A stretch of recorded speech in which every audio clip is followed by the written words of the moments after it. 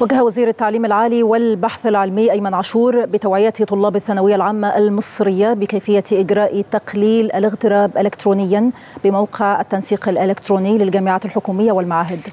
للتسهيل على الطلاب ولمساعدتهم في تجنب أي أخطاء قد تحدث معهم. وأعدت الإدارة العامة للمكتب الإعلامي والمتحدث الرسمي للوزارة دليلا إرشاديا لطلاب الثانوية العامة في سؤال وجواب لتوضيح كيفية إجراء تقليل الاغتراب إلكترونيا بموقع التنسيق الإلكتروني للجامعات الحكومية والمعاهد وذلك تيسيرا على الطلاب.